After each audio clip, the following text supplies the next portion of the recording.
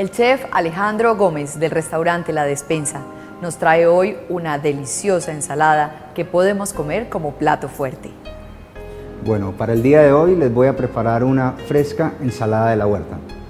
Los ingredientes son tres variedades de lechuga, crespa, morada, rúgula o romana, 200 gramos de tomate cherry partidos a la mitad, una rama de cebolla puerro, un frasco de aceitunas negras, una cebolla roja en julianas.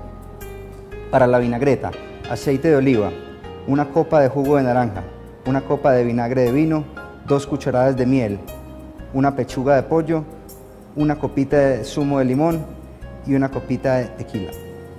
Entonces miren que es muy fácil, natural.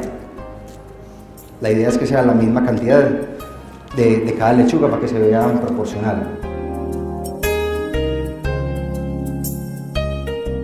Más o menos debe ser algo así. En un bowl vamos a agregar un poco de vinagre. Ustedes escogen balsámico, vinagre de jerez, vinagre de frutas. Vamos a agregar un poco de miel para matarle un poco la acidez al vinagre. Más o menos una cucharada de, miel de abeja puede ser. Pueden usar miel de panela, pueden usar azúcar, Vamos a agregar un poco de jugo de naranja. La va a aromatizar y le va a dar buen sabor. La sal y la pimienta siempre es al gusto.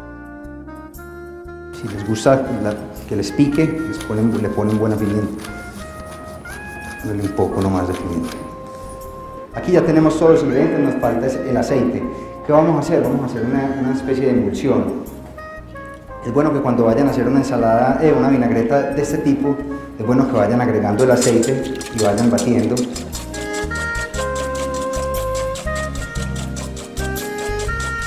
Aceitunas, ponemos un poco.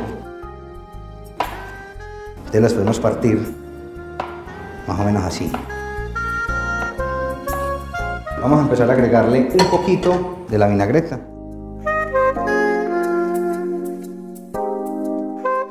Miren que es simplemente tener una buena vinagreta, unas buenas lechugas y agregar, y agregar ingredientes, ingredientes ricos, ¿no? En este caso aceitunas, ponemos un poco, vamos a ponerle un poco de cebolla en julianas. Agregamos los ingredientes uno por uno, tomate cherry partidos a la mitad. Vamos a freír un poquito de estos puerros, dejarlos crocantes. Esto le va a dar un toque de, altura y de, y crocancia a la ensalada. Miren los puerros como quedan. De sabor quedan excelentes. Para el pollo abrimos un poquito la pechuga y las vamos a dorar.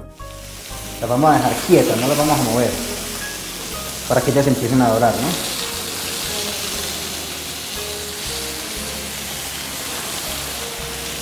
Vamos a agregar un poco de, de pimienta. Estos son varios tipos de pimienta juntos, verde, roja, blanca sal y pimienta únicamente, aceite de oliva, sal y pimienta. Cuando uno dora, siempre va a haber mucho más sabor que cuando uno no dora. ¿cierto? Los, azúcares naturales de la proteína salen ahí, eso le da, le da mucho más sabor al pollo. Entonces siempre que vayan a hacer un filete de cualquier cosa, es bueno que lo, es bueno que lo doren, ¿cierto? Que caramelicen el azúcar de la proteína. Siempre que hagan este proceso, siempre les va a quedar mejor el pollo o, el pescado o la carne, ¿cierto? cualquier proteína. ¿Por qué? Porque eso que ustedes ven aquí, estos son azúcares naturales de la proteína. ¿Qué estamos haciendo? Potencializándole el sabor a la pechuga. Unas gotitas de limón.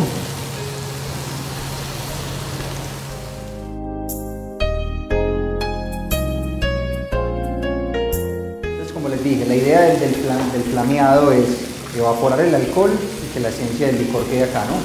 Entonces es importante que cuando vayan a hacer este paso tengan la llama, vamos a agregar. La idea es hacer eso, ¿no?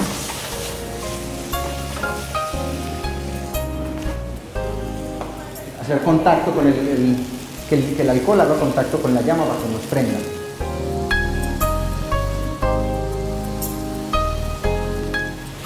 Ya esto está listo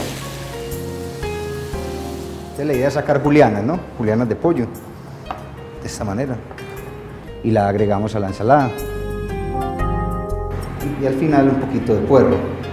La idea es que se vea todo, ¿cierto?